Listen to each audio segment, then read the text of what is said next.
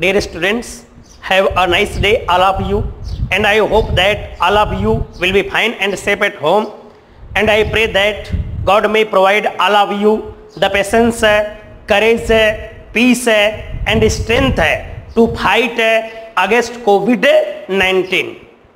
Dear students, as you know, in the previous class, I taught you about letter writing. I taught you about what is the process of letter writing. I mean how to solve letter writing. Yes, इसलिए प्यारे विद्यार्थियों black board पे देखना इस letter writing का मैंने आपको 10 खंड पढ़ाया था जैसे आपके सिलेबस में ऑफिशियल और बिज़नेस लेटर हैं तो इस ऑफिशियल लेटर के भी कितने खंड होते हैं दस और इस बिज़नेस लेटर के भी कितने खंड होते हैं? दस।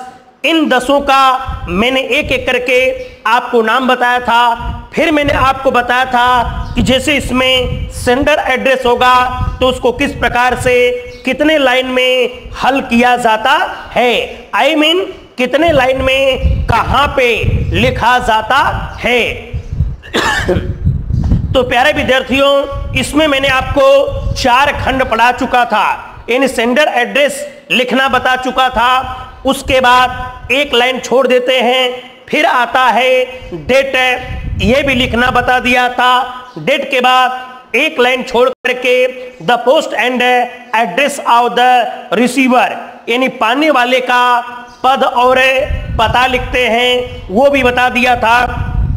फिर उसके बाद एक लाइन छोड़ करके सब्जेक्ट आता है कैसे लिखते हैं, ये भी मैंने आपको पिछली क्लास में बता दिया था। सो आज विद्यार्थियों, मैं आपको बताने जा रहा हूँ इसका rule number five yes rule number five आपका है अ से अ लिव अ टेसन प्यारे विद्यार्थियों ब्लैक बोर्ड पे ध्यान दो। Yes A L U T A T A T I O N इसको पढ़ते हैं सेल्यूटेशन इस सेल्यूटेशन का मतलब होता है संबोधन. क्या होता बच्चों? इस सेल्यूटेशन का मतलब होता है संबोधन. तो अब मैं आपको बताने जा रहा हूँ कि इस चार टॉपिक यानी सब्जेक्ट को लिखने के बाद फिर आपको एक लाइन छोड़ना होगा. क्या छोड़ना होगा विद्यार्थियों? यानी उस सब्जेक्ट के बाद आपको फिर एक लाइन छोड़ देना होगा।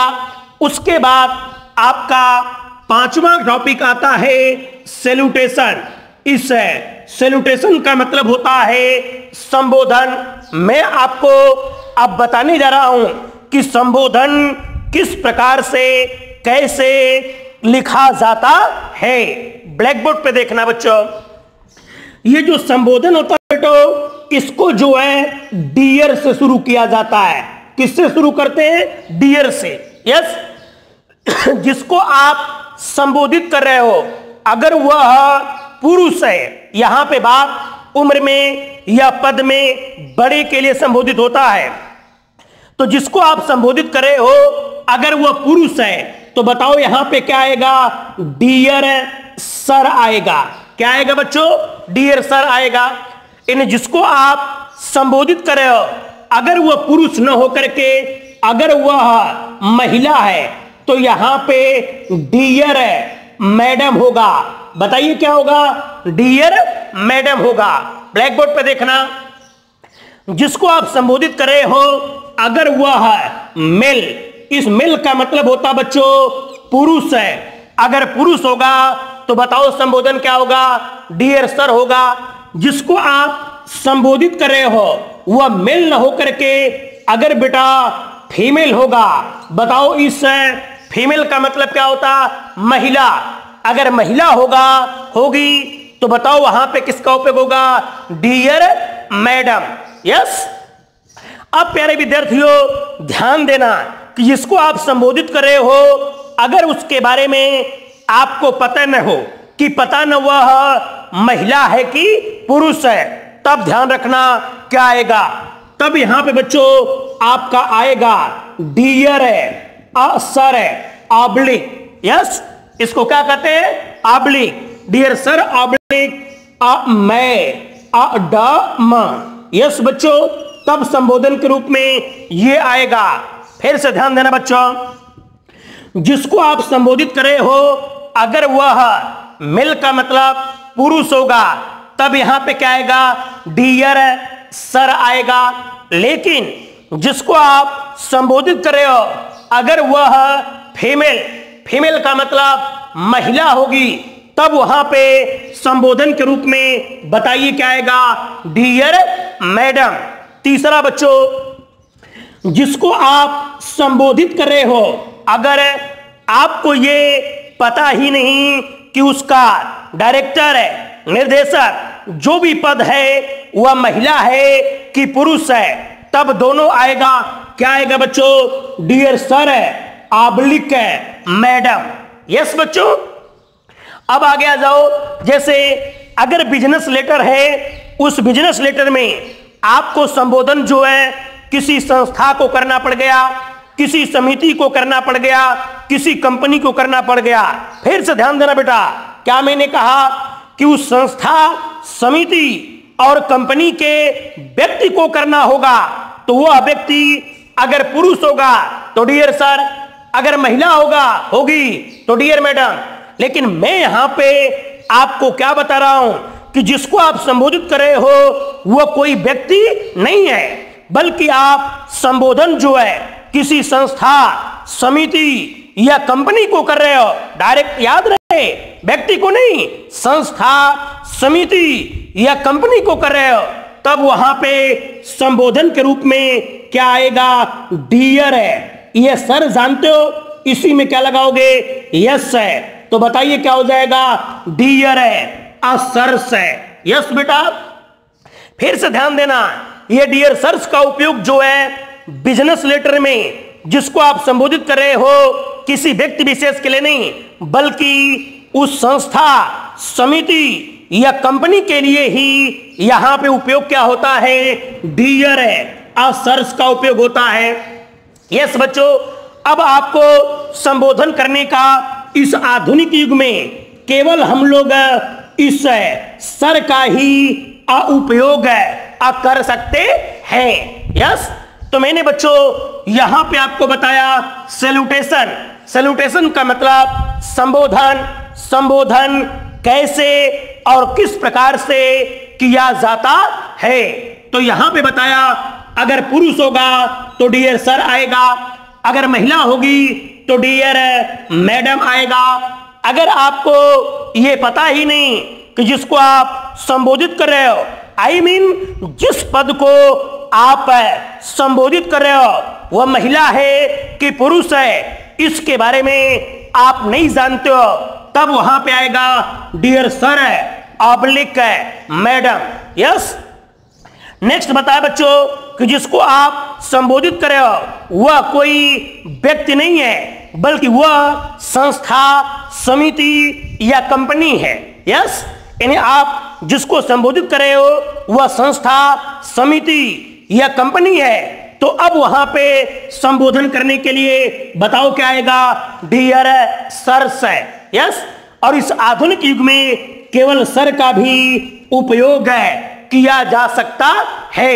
यस तो ध्यान देना बच्चों कि आपको संबोधन करने के लिए मैक्सिमम अर्थात अधिकतर, आपको या तो डियर सर का उपयोग करना है ऑफिशियल में। या तो केवल सर का उपयोग करना है, और अगर कोई संस्था, समिति या कंपनी होगा, तब वहाँ पे डियर सर्स का उपयोग करना पड़ेगा। यस तो मैं आपको बताया, जैसे आपने यहाँ पे हेडिंग डाल दिया सब्जेक्ट अब डैश करके जो भी सब्जेक्ट है, उसको आपने लिख दिया, इसको हाईलाइट कर दिया यह समझाया हूँ।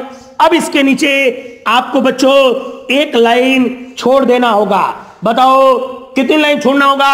एक लाइन। अब एक लाइन छोड़ने के बाद आपका संबोधन आएगा इसी के नीचे, जैसे हमने यहाँ पे लिख दिया डियर सर।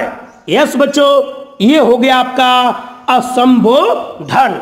यस अब इस संबोधन के नीचे जो भी चीज़ आएगी बच्चों, उसके बाद आपको लाइन छोड़ने की आवश्यकता नहीं।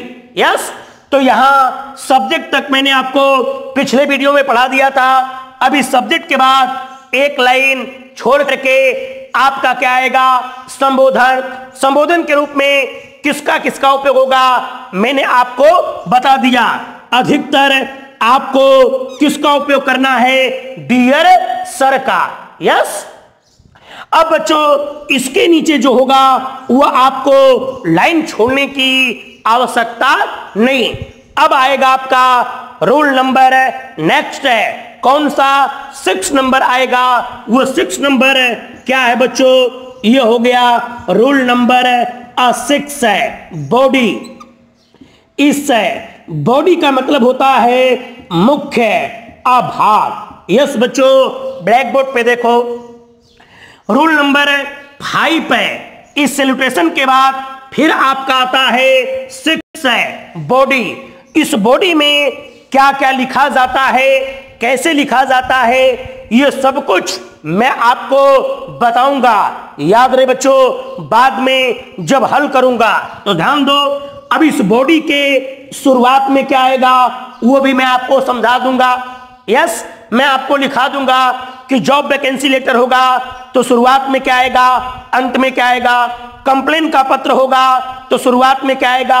अंत में क्या आएगा? आप इस बिज़नेस में अगर एडिटर होगा तो इसमें शुरुआत में क्या आएगा? अंत में क्या आएगा? इन सभी लेटर के बॉडी के शुरुआत में क्या आएगा और अंत में क्या आएगा? वो दोनों चीज़ मैं आपको एक एक करके लिखाऊँगा। केवल बीच में चार या पाँच सेंटेंस जो होता है, वह किसके अनुसार? सब्जेक्ट के अनुसार लिखा जाता है। वही आपको उस प्रश्न में जो सब्जेक्ट होगा, उसके अनुसार सिंपल सिंपल सेंटेंस बना करके लिखना पड़ेगा। लेकिन इस बॉडी का शुरुआत का क्या होगा? अंत में क्या होगा? मैं मिस्टर रमाशंकर यादव आपको पहले ही लिखा करके, समझा करके पढ़ा दूँगा। यस यस बच्चों तो अब यहाँ पे हो गया आपका बॉडी इस बॉडी का मतलब होता है मुख्य भाग. यस, ये बॉडी जहाँ पे समाप्त हो गई.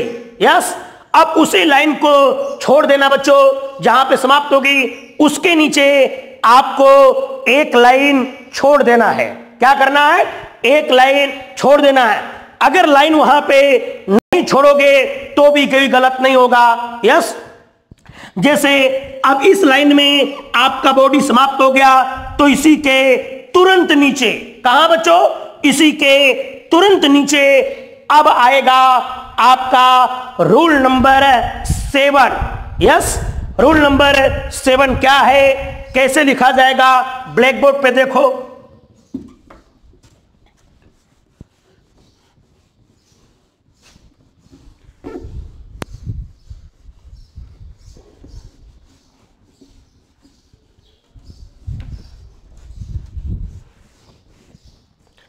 यस बच्चों, अब यहाँ पे आएगा आपका rule number seven yes uh courtesy yes इस कर्टेसी का मतलब होता है शिष्टाचार्य. यस शिष्टाचार्य. ब्लैक बोर्ड पे देखना बच्चों, ध्यान से. कि सातवां खंड आपका आता है कर्टेसी इस कर्टेसी का मतलब होता है शिष्टाचार. अब आपका शिष्टाचार के रूप में चाहे ऑफिसियल लेटर हो, चाहे बिज़नेस लेटर हो मैं आपको आज ही अभी बता दूँगा कि इस कर्टेसी के रूप में हमेशा केवल एक ही चीज़ आपको लिखना है। वो क्या लिखना है, ये ब्लैक बोर्ड पे देखो। जैसे यहाँ पे आपको लिखना होगा अ थैंक अ किंग है अ यू यस बच्चों, याद रहे कर्टेसी के रूप में ये जहाँ पे आपकी बॉडी समाप्त हो जाएगी तुरंत उसके नीचे शिष्टाचार के रूप में आपको लिखना क्या है? अ थैंकिंग यू यस अब प्यारे विद्यार्थियों, इसके नीचे आपको लाइन छोड़ने की आवश्यकता नहीं। फिर से सुनो आप। अब इस कर्टेसी के नीचे आपको लाइन छोड़ने की आवश्यकता नहीं। इसी के बाद अब आपका आएगा रूल नंबर एट है यस बच्चों अ कम a plea, a men, अटरी क्लोज है। इस कंप्लीमेंट्री क्लोज का मतलब होता है अउप है अयुक्त है अस अमा अपन। ब्लैक बोर्ड पर देखना बच्चों इस है कंप्लीमेंट्री क्लोज का मतलब होता है उपयुक्त समापन।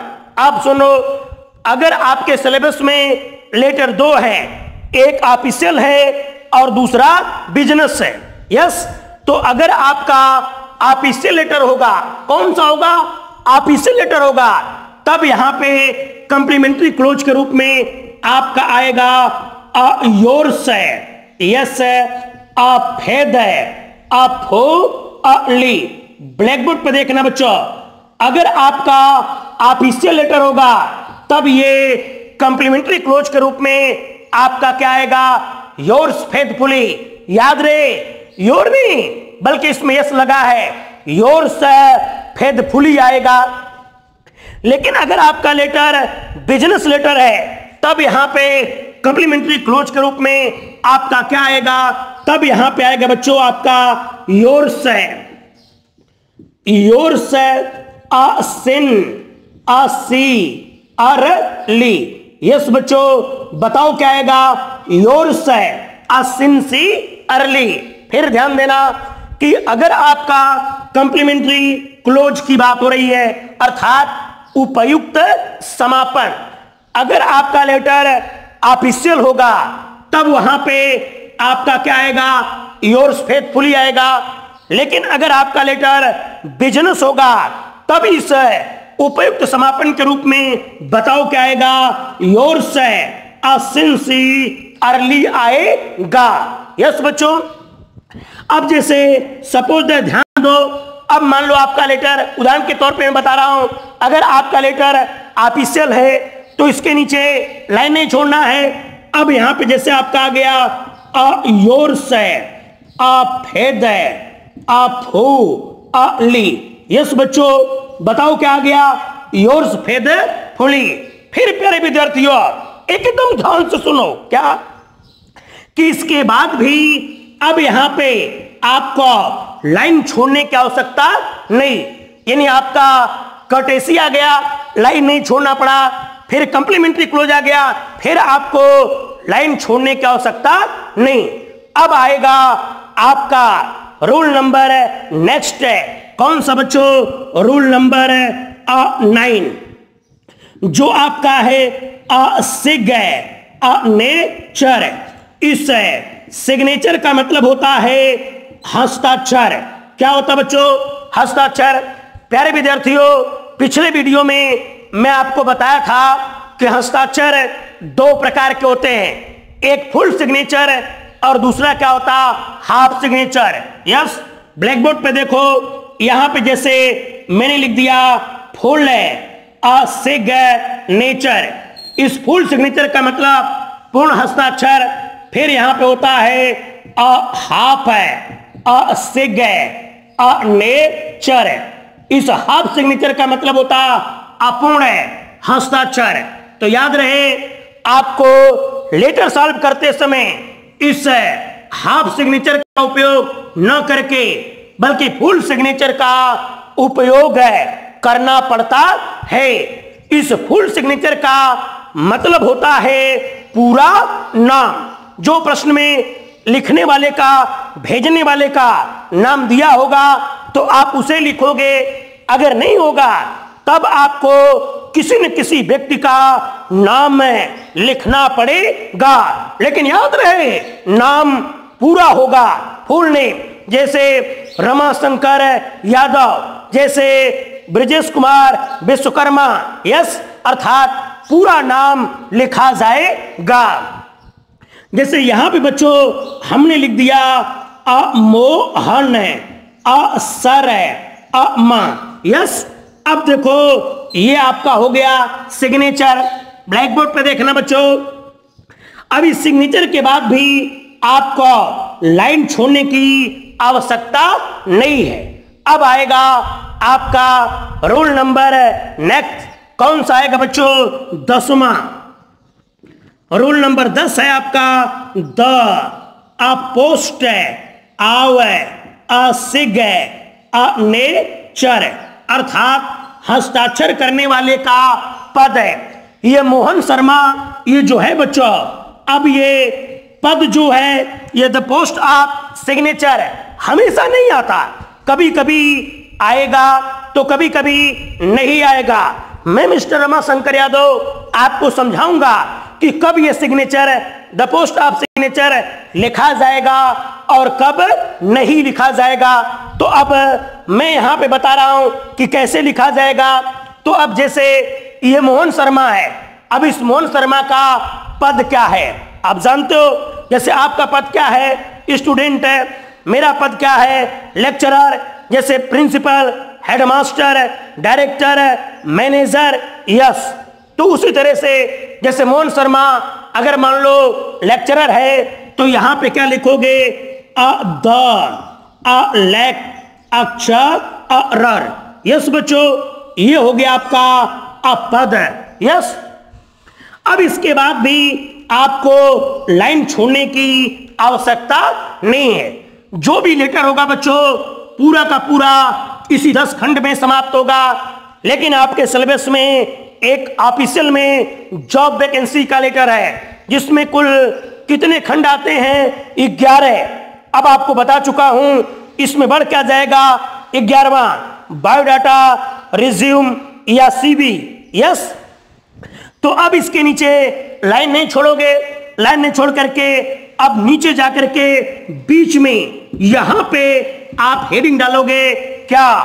बायो डाटा यस बच्चों ब्लैक बोर्ड पर देखना आप लोग, रूल नंबर ग्यारह। यहाँ पे आता है बायो डाटा यस इस बायो डाटा का मतलब होता है शैक्षिक अभिलेख, अर्थात कार्य अनुभव। यस। या तो बच्चों, यहाँ पे हो गया अ री अजीव म। या तो बच्चों, यहाँ पे हो गया अ सीबी यस। या तो बायोडाटा डालो, या तो रिज्यूम डालो, या तो सीबी इस सीबी का मतलब होता है यहाँ पे अ करी अ को अ लम अ वाई अ टी. यस बच्चों. ब्लैक बोर्ड पर देखो, इस सीबी का मतलब होता है करिकुलम वाईटी इसका मतलब भी होता है शैक्षिक विवरण या शैक्षिक अभिलेख, अर्थात कार्य अनुभव का विस्तृत वर्णन। आई मीन जो भी आपके पास शैक्षिक है, योग्यता है, उसका संपूर्ण विवरण उसी को कहते हैं करिकुलम वाईटी अर्थात सीवी यस तो अब यहाँ पे बायोडाटा या तो बच्चों रिज्यूम या सीबी इन तीनों में से कोई एक है। इसके बाद बीच में आपको हेडिंग के रूप में देना होगा। बायोडाटा अब इस बायोडाटा में क्या क्या भरा जाएगा? यस मैं आपको एक एक करके भराऊँगा, बताऊँगा कि कहाँ से निकाल करके इसमें क्या क्या अब भरा जाएगा। यस देखो प्यारे विद्यार्थियों, ये जो यहाँ पे बायोडाटा होता है रिज्यूम होता है और सीबी होता है, इसमें अधिक से अधिक अठारह टॉपिक होती है। यस कितनी टॉपिक होती है? एटीन अर्थात अठारह लेकिन कम से कम आपको दस ग्यारह टॉपिकों को भरना पड़ता है जैसे नेम हो गया एड्रेस हो गया डेट ऑफ़ बर्थ हो गया मैरिटल स्टेटस हो गया क्वालिफिकेशन हो गया एक्सपीरियंस हो गया सेक्स हो गया रेफरेंस हो गया एक्सपेक्टेड सैलरी हो गई एक्स्ट्रा क्वालिफिकेशन हो गया लैंग्वेज हो गया कॉन्टेक्ट नंबर हो गया डेट ऑफ़ फादर्स नेम हो गया मदर्स नेम हो गया रिलीजन्स हो गया, ऐसे करके तमाम टॉपिक होती हैं। मैं आपको इसमें भरना सिखाऊँगा कि कौन सा चीज़ कहाँ से आएगा और क्या भरा जाएगा। यस विद्यार्थियों तो अभी आप केवल ये समझ के पूरा दस खंड तक रखो, ठीक है? जैसे पांचवा मैंने बताया सेल्यूटेशन सेल्यूटेशन में क्या क्या आएगा? समझा दिया। फिर यहाँ पे कर्टेसी का मतलब शिष्टाचार। यस। इसके बाद बच्चों बॉडी समझाया था। बॉडी का मतलब मुख्य भाग। शुरुआत में क्या आएगा? अंत में क्या आएगा? मैं आगे लिखाऊँगा। बीच में प्रश्न के अनुसार। यस सॉरी प्रश्न मतलब सब्जेक्ट के अनुसार। फिर उसके बाद लाइन छोड़ोगे नहीं। नीचे से कट ऐसी शिष्टाचार के रूप में क्या आएगा? थैंकिंग यू आएगा। लेकिन इसके बाद लाइन छोड़ने की आवश्यकता नहीं है। यस फिर यहाँ पे आएगा कंप्लीमेंट्री क्लोज है उपयुक्त समापन। अब आपके सिलेबस में दो लेटर हैं ऑफिशियल और बिज़नेस अगर ऑफिशियल होगा तो बताओ क्या आएगा योर्स फेथफुली लेकिन अगर है बिज़नेस लेटर होगा तो क्या आएगा योर्स है सिंसियरली अब बच्चों, जैसे उदाहरण के लिए मैंने यहाँ पे योर्स फेथफुली लिख दिया। अब याद रहे, इसके बाद भी लाइन छोड़ने की आवश्यकता नहीं है। फिर उसके बाद यहाँ पे सिग्नेचर आएगा। दो बताया हूँ। यहाँ पे एक हो गया फुल सिग्नेचर दूसरा हो गया हाफ़ सिग्नेचर फुल सिग्नेचर का उपयोग करते हैं। अर्थात पूर्ण हस्ताक्षर। जैसे मैंने यहाँ पे लिख दिया, मोहन शर्मा। अब इसके बाद भी लाइन छोड़ने की आवश्यकता नहीं है। अब आएगा आपका द पोस्ट ऑफ़ सिग्नेचर, हस्ताक्षर करने वाले का पद। यस, जैसे मैंने यहाँ पे लिख दिया, द लेक्चरर। यस, जैसे यहाँ पे आपका लिखना हो तो लिख दिया जैसे द स्टूडेंट है आव है क्लास है और ट्वेल्थ। है यस, ये हो गया बच्चों आपका पद। है जितने भी आपके लेटर होंगे, सभी इसी जगह समाप्त हो जाएँगे। कोई कोई लेटर होगा जिसमें केवल नौ खंड ही आएँगे कोई कोई होगा जिसमें केवल आठ खंड ही आएँगे कोई कोई होगा जिसमें ग्यारह खंड आएगा। यस तो जैसे कौन सा ऑफिशियल का जॉब वैकेंसी होगा, उसमें ग्यारह खंड आएगा तो क्या आएगा? बायोडाटा रिज्यूम या सीबी इन तीनों में से कोई एक। अब इसके नीचे क्या क्या इसमें भरा जाएगा, वो मैं आपको आगे समझाऊँगा। यस? तो प्यारे विद्यार्थियों, ये रहा आपके इस ऑफिशियल और बिज़नेस लेटर का प्रोसेस कि पहला प्रोसेस क्या है, कितने लाइन में, कितने लाइन छोड़ा जाएगा? दूसरा प्रोसेस ऐसे एक एक करके मैंने सारे प्रोसेस आपको समझा दिया। अब आपके सामने एक फार्मूला रख रहा हूँ। ठीक है, इसको पूरी तरह से व्यवस्थित करके एक फार्मूला रख रहा हूँ। आप ध्यानपूर्वक इस फार्मूले को देखें।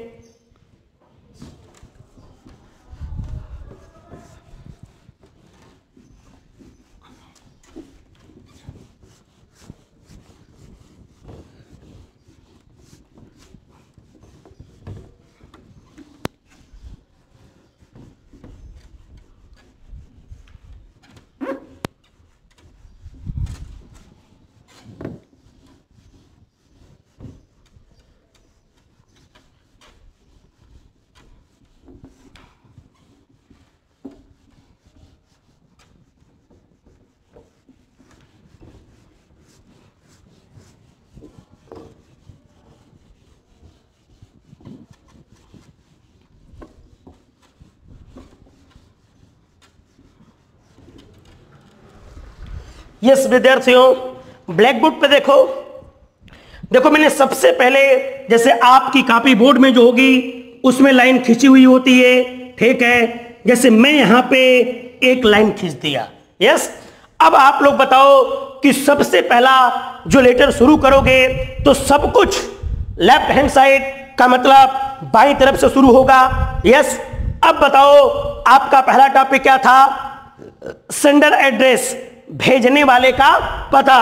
ये दो लाइन में आएगा या तो तीन लाइन में आएगा? मैंने आपको लिखना सिखाया है। यस ब्लैक बोर्ड पर देखो फॉर एग्ज़ाम्पल के लिए। जैसे मैंने यहाँ पे लिख दिया अ फोर्टी सिक्स है कामा अब यहाँ पे लिख दिया, जैसे राय अ का लोनी अब उसके बाद यहाँ पे एरिया रोड का नाम, जैसे दे दिया अ इस है अ टेसन रोड उसके बाद यहाँ पे दे दिया बच्चों, बाड़मेर। ये देखो, आपका कौन सा खंड हो गया? पहला खंड हो गया। यस बच्चों, ये आपकी पहली टॉपिक हो गई। इसके बाद आपको क्या करना है? एक लाइन छोड़ देना है, फिर क्या आएगा? डेट। लिखना सिखाया हूँ आपको। जैसे यहाँ पे ये यह हो गया सिक्सटीन यस जुलाई 2020 यस फिर इसके बाद एक लाइन छोड़ दोगे। फिर क्या आएगा? पाने वाले का पद और पता। लिखना आपको सिखाया हूँ। जैसे यहाँ पे हो गया, द अप्रिन असी पल। यस अब जैसे यहाँ पे लिख दिया, मदर टेरेसा, अ ना अबल्स ए, के डमिंग यस, सी, नी, ईयर है। Secondary school yes. अब यहाँ पे जैसे लिख दिया तीसरे में बाड़मेर ये बच्चों, आपकी तीसरी टॉपिक हो गई। अब इसके बाद फिर आपको एक लाइन छोड़ देना है। अब बताओ, आपका क्या आएगा? अ, सब है। अजेक्ट डैश करके जो भी सब्जेक्ट होगा, उसको ला करके यहाँ भर दोगे। फिर इसके बाद एक लाइन छोड़ देंगे। याद है ना? ये सारा प्रोसेस आपको बताया हूँ। फिर आएगा संबोधन। जैसे मैंने यहाँ पे लिख दिया डियर है, अ, सर। यस अब इसके नीचे लाइन छोड़ोगे नहीं? यहाँ से नहीं, इसके नीचे से। यहाँ से शुरू होगा बच्चों, आपका बॉडी यस इस बॉडी का मतलब मुख्य भाग यस अब ये बॉडी जहाँ पे समाप्त होगी, फिर उसके नीचे आपका सातवां टॉपिक आएगा। क्या आएगा बच्चों? जैसे यहाँ पे मान लो आपका बॉडी समाप्त होगी तो फिर यहाँ पे आएगा अ थैंग अ किंग अ यू यस अब इसके नीचे फिर आपको लाइन छोड़ने की आवश्यकता नहीं। फिर अगला आपका टॉपिक आएगा आठवां कंप्लीमेंट्री क्लोज है। जैसे यहाँ पे हो गया अ योर्स है फेद है अ फो अ ली। यस अब इसी के नीचे, आपको दिखेगा नहीं बच्चों, मैं ऊपर लिख रहा हूँ। इसी के नीचे आपका नाम आएगा, जैसे मैंने यहाँ पे लिख दिया अ मो अ हन अ सर अ मा। यस अब इसी के नीचे लाइन छोड़ोगे नहीं, आपका पद आएगा। यस जैसे मैंने यहाँ पे लिख दिया, अ, the, a student of class है, अ, ट्वेल्थ। यस बच्चों, ये हो गए आपके दस खंड है। यस तो ये इसी तरह से ब्लैक बोर्ड पे देख लो आप लोग। जैसे यहाँ पे ये आपका पहला खंड हो गया रोल नंबर फ़र्स्ट है। Sender, address. एक लाइन यहाँ पे छोड़ दिया बच्चों। फिर उसके बाद क्या आया? डेट है। ये आपका हो गया रोल नंबर सेकंड। संतुष्ट हो आप? यस। फिर इसके नीचे एक लाइन छोड़ दिया बच्चों। अब आया आपका पाने वाले का पद और पता। तो देखो, ये हो गया रोल नंबर थर्ड। यस। फिर इसके नीचे एक लाइन छोड़ दिया बच्चों।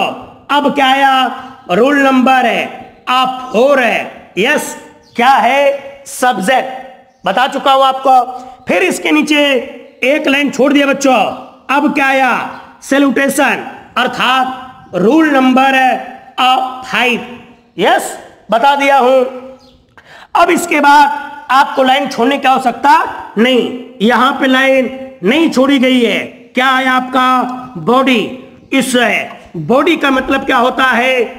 मुख्य भाग। रोल नंबर सिक्स अब जहाँ पे खत्म हो गया, फिर आपको लाइन छोड़ने की आवश्यकता नहीं है। उसी के नीचे अब आएगा आपका रोल नंबर है अ सेवन अर्थात कटेसी यस फिर आपको लाइन छोड़ने की आवश्यकता नहीं है। रोल नंबर एट आएगा आपका। यस क्या? कंप्लीमेंट्री क्लोज यस बच्चों, फिर इसके बाद आपको लाइन छोड़ने की आवश्यकता नहीं। ये बच्चों, इसी के नीचे आएगा। मेरे पास अगर लिखूँगा तो आपको दिखेगा नहीं। इसलिए इसके नीचे जो है, मैं यहाँ लिख रहा हूँ। देखो रूल नंबर है नाइन यस क्या आया? सिग्नेचर यस हस्ताक्षर। अब इसके बाद भी आपको लाइन छोड़ने की आवश्यकता नहीं। अब आएगा रूल नंबर है टेन है, दस है, क्या? द पोस्ट ऑफ़ सिग्नेचर हस्ताक्षर करने वाले का पद। अब इसके बाद लाइन छोड़ने की आवश्यकता नहीं। चले जाओगे आप बीच में, अगर जॉब वैकेंसी हुआ तो यहाँ पे आप हेडिंग क्या डालोगे? बायो डाटा क्या डालोगे? बायोडाटा यस फिर से ध्यान देना बच्चों ब्लैक बोर्ड पे। देखो, ये मैंने यहाँ पे आपका रूल नंबर फ़र्स्ट बताया, ठीक है? इन सेंडर एड्रेस कितने लाइन छोड़ा? एक लाइन छोड़ दिया। याद रहे, कितने लाइन एक लाइन फिर यहाँ पे आपका क्या आ गया? डेट है। कब का आएगा? ये भी मैं आपको बता चुका हूँ। यस फिर इसके नीचे बच्चों, यहाँ पे एक लाइन छोड़ दिया। अब क्या आया? पाने वाले का पद और पता। The principal Mother Teresa Noble's academy senior secondary school Ramnagar Barmer केवल बाढ़ में लिख दिया। ये आप गया गया रूल नंबर थर्ड है। पाने वाले का पद और पता। फिर इसके नीचे एक लाइन छोड़ दिया। अब आया आपका सब्जेक्ट विषय। ये हो गया आपका रूल नंबर फोर है। यस फिर इसके बाद एक लाइन छोड़ दिया। आया आपका सेल्यूटेशन संबोधन। ये है बच्चों रूल नंबर फाइव यस अब इसके नीचे आपको लाइन छोड़ने की आवश्यकता नहीं। इस बॉडी में क्या क्या आएगा बच्चों, वो मैं सब आपको बताऊँगा। यस ये तो देखो था आपका रूल नंबर सिक्स है। अब इस बॉडी के बाद आपको लाइन छोड़ने की आवश्यकता नहीं है। इसके नीचे तुरंत आएगा, जहाँ पे खत्म हो गया, उसी के नीचे अब आएगा आपका, आप कर्टेसी कर्टेसी का मतलब शिष्टाचार। थैंकिंग यू ये था आपका रूल नंबर सेवन अब इसके बाद फिर आपको लाइन छोड़ने की आवश्यकता नहीं। अब आएगा आपका योर फेदफुली कंप्लीमेंट्री क्लोज के रूप में आप इससे लेटर होगा तो अगर बिज़नेस होगा तो योर है सिंसियरली ये है आपका रूल नंबर एट है। अब इसी के नीचे फिर आपको लाइन छोड़ने की आवश्यकता नहीं। अब आएगा आपका रूल नंबर नाइन है। क्या बच्चों सिग्नेचर जैसे मोहन शर्मा। अब इसके नीचे आपको लाइन छोड़ने की आवश्यकता नहीं। अब आएगा रूल नंबर टेन है, अर्थात दस है। द पोस्ट ऑफ़ सिग्नेचर यहाँ पे क्या लिखा? The student of class twelfth है। यस अब फिर इसके बाद अगर जॉब वैकेंसी हुआ तो लाइन छोड़ने की आवश्यकता नहीं। चले आओगे बीच में, यहाँ पे हेडिंग क्या डालोगे?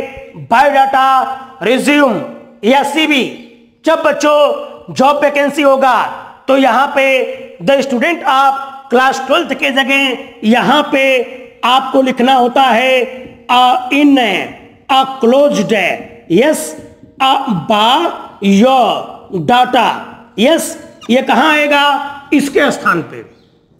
उसके बाद अगर यहाँ पे बायोडाटा आ गया तो नीचे बायोडाटा हेडिंग डालना होगा। अगर यहाँ पे रिज्यूम लिखा तो यहाँ पर रिज्यूम लिखना होगा। अगर यहाँ पे सीबी लिखा तो यहाँ पर भी नीचे सीबी लिखना पड़ेगा।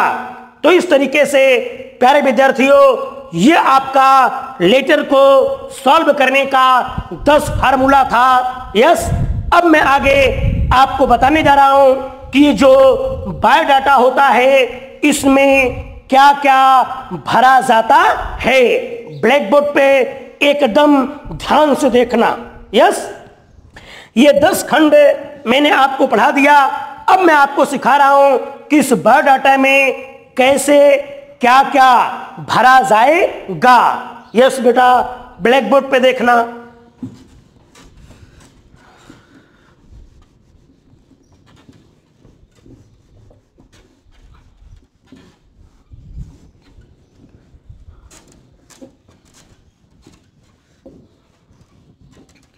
यस बच्चों ये इसी के नीचे होगा लेकिन मेरे पास जगह नहीं है इसलिए मैं ऊपर लिख रहा हूँ। जैसे यहाँ पे मैंने बीच में आ, हेडिंग डाल दिया आ, बायो डाटा यस अब इस बायो डाटा में कम से कम आपको 10 से 11 खंड भरना है लेकिन टोटल कितने होते हैं? 18 तो अब जैसे बायोडाटा डाल दिया अब हम लोग यहाँ आ गए। सबसे पहले क्या लिखा? नेम। इसके आगे जाकर के यहाँ पे दो बिंदी दिया। अब नेम में क्या आएगा? तो ध्यान दो, जो नाम इसके नीचे आपने सिग्नेचर में लिखा था यस क्या लिखा था? सिग्नेचर में। एकदम सेम टू सेम वही नाम आएगा। तो सिग्नेचर में आपने क्या लिखा था? जो मैंने साफ़ किया, मोहन शर्मा। तो यहाँ पे नाम में क्या आ जाएगा?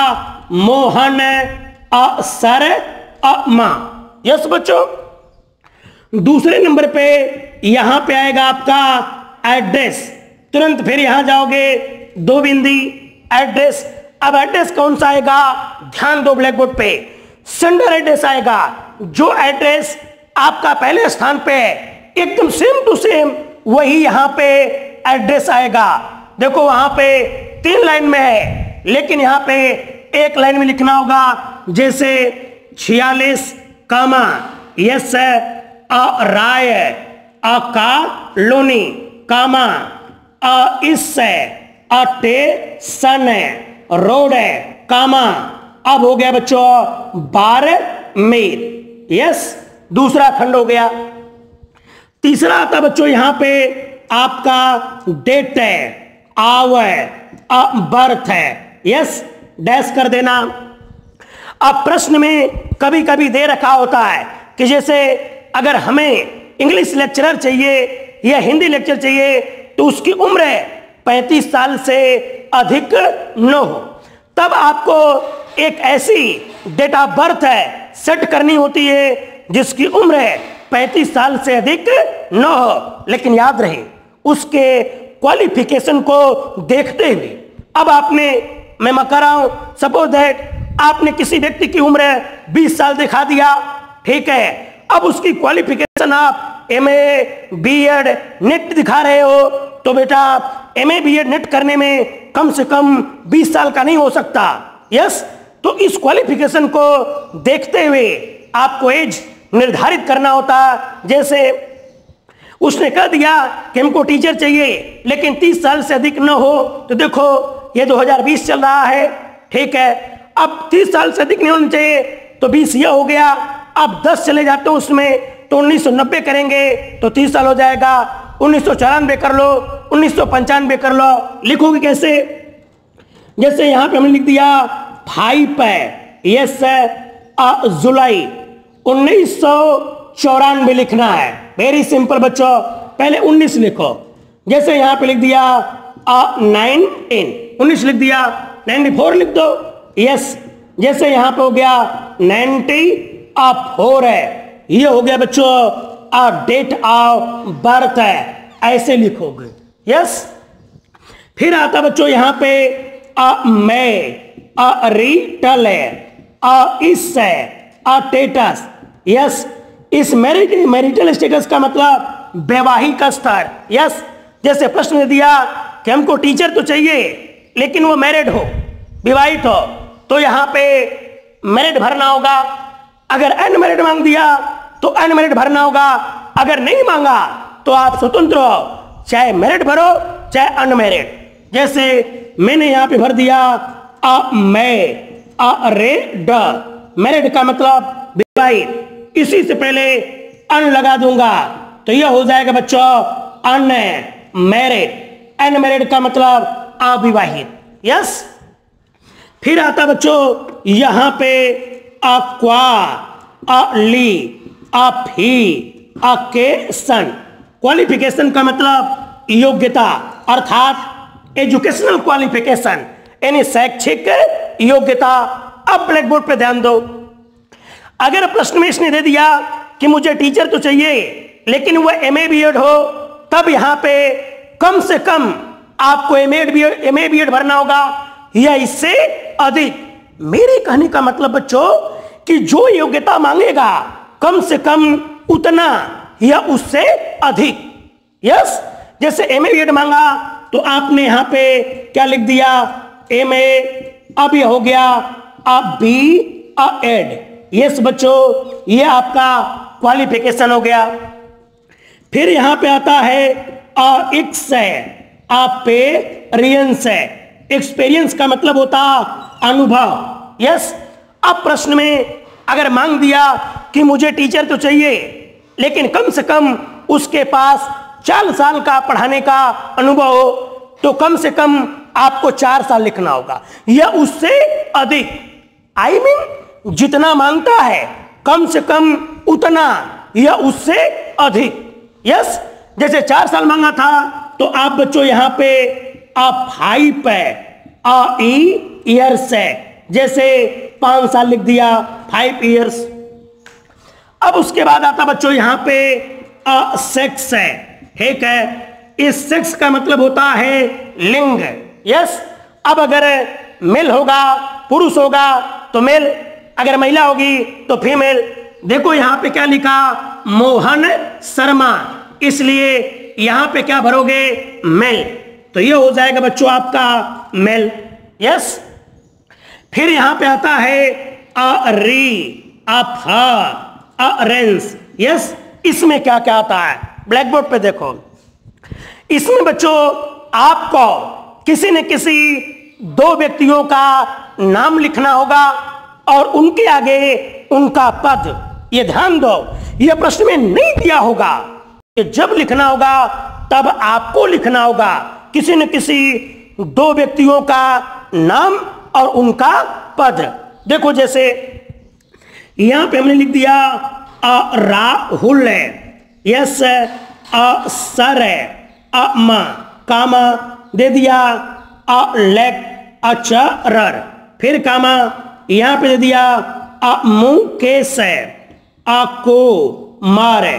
फिर यहाँ पे दे दिया अ प्रिन अपल यस अब इसके बाद आता बच्चों, अ एक्स्ट्रा यस एक्स्ट्रा अक्वा ली अफी अकेशन एक्स्ट्रा क्वालिफिकेशन का मतलब अतिरिक्त शिक्षा। अतिरिक्त शिक्षा। अगर आपके पास कोई है तो लिखोगे उसका नाम। अगर नहीं होगा तो इसमें केवल लिखा जाएगा, अ, नो। यस तो आप नो क्यों लिखोगे मैं बता रहा हूँ, आप हमेशा अक्सर लिखना अ, डी, अ, सी, ए। का मतलब diploma of computer application. Yes?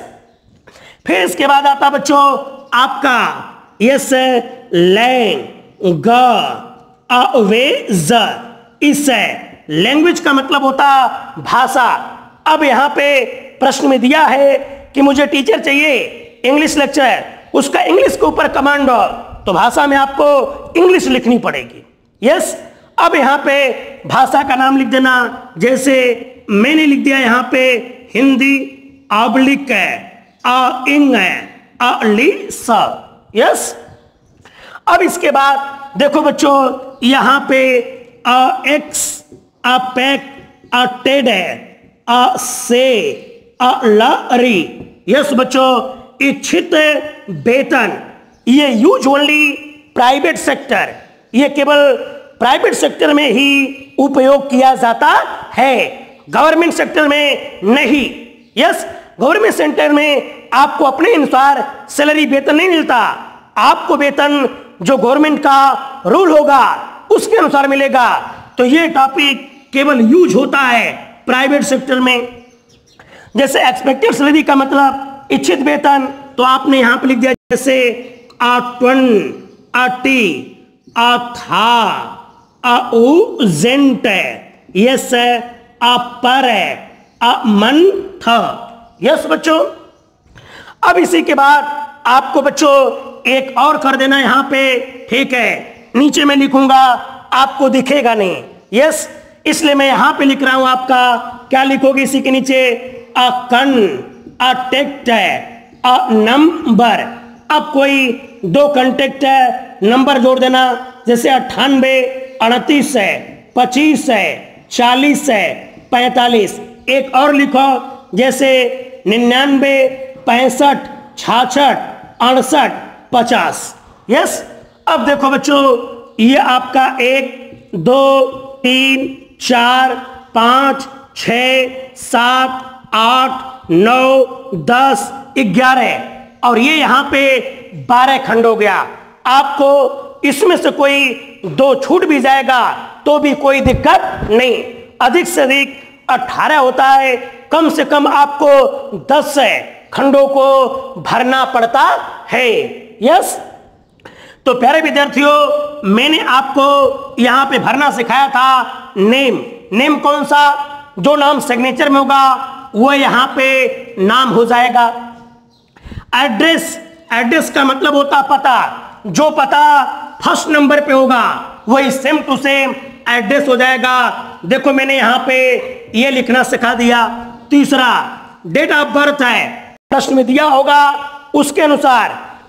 नहीं दिया होगा तो उस योग्यता के अनुसार आप आएज है, बनाना पड़े, पड़ेगा।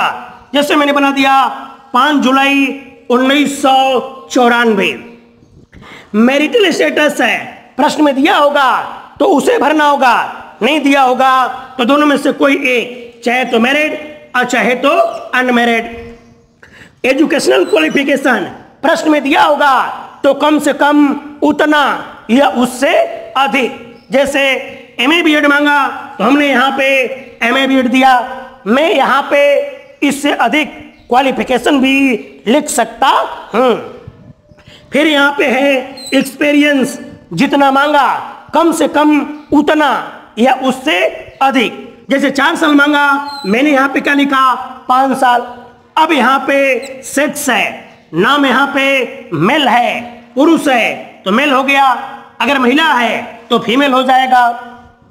रेफरेंस है, इसमें बेटा दो लोगों का नाम आएगा। और उनका पद आएगा। यस, आपको अपने मन से किसी न किसी दो व्यक्तियों का नाम और पद लिखना होगा। जैसे मैंने लिखा, Rahul Sharma lecturer Mukesh Kumar principal yes, फिर यहाँ पे आता है एक्स्ट्रा क्वालिफिकेशन यस, जैसे मैंने यहाँ पे लिख दिया DCA diploma of computer application फिर आता है लैंग्वेज जो भाषा मांगा, उसको लिखना पड़ेगा।